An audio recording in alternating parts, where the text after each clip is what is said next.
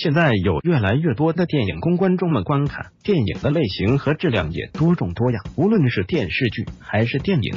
综艺都是要经过审查的，有这样一部国产片，就曾经审过三年，经过了十一次删改才得以上映。这部电影是导演陆学长的处女作，讲述了一位音乐青年的成长经历。这部电影似乎一直命运坎坷，不仅审查历史比较久，戏外的演员和导演也经历一系列苦难。出演女主角的朱洁曾经和许帆。江山是同学，这也是他的第一部作品。在片中，他饰演一位吸毒女，戏外大概是出于好奇，也沾染了毒品。后来还没等到电影上映，就在大街上暴毙身亡。男主角朱红茂戏内戏外都是吉他手，在戏外他是郑钧的吉他手，也是几首歌的编曲。在拍摄完这部影片之后，二零零八年，朱红茂离家出走，至今下落不明。导演陆学长还曾经为朱红茂发过一则寻人启事。导演陆学长。的妻子是后来在《甄嬛传》中饰演丽嫔娘娘的李嘉璇。二零一四年，陆学长在好友王小帅的车上，